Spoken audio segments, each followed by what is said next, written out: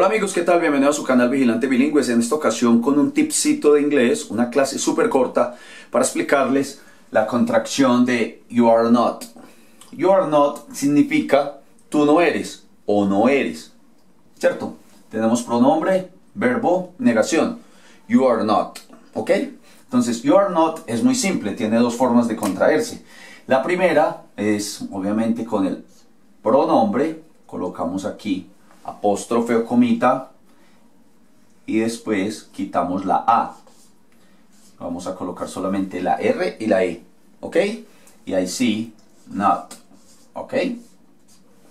Entonces quedó you're not, you're not. Esa es la contracción. Se pierde realmente muy poco, pero es una forma en que ellos le pueden hablar a uno o uno lo puede ver escrito. You're not, you're not, ¿ok?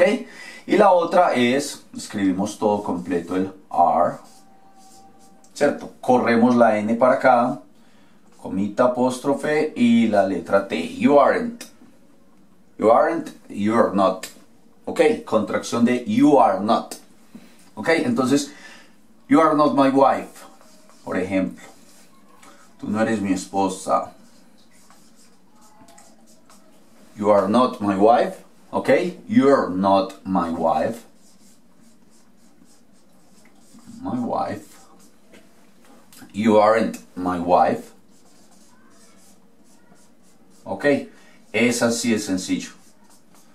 Obviamente eso funciona con cualquier cosa. Entonces, tú no eres mi profesor. You are not my teacher. ¿Cierto? You are not my teacher. Y you aren't my teacher.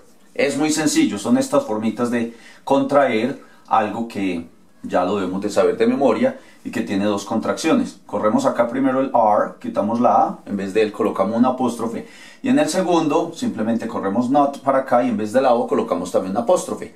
Entonces hasta aquí llegó este corto video, un tipcito de la contracción de you are not, ¿ok? Espero que les haya gustado, que les sirva, que lo aprovechen. No olviden dar like y visitar mi canal Vigilante Bilingüe. Hasta la próxima. See you later. God bless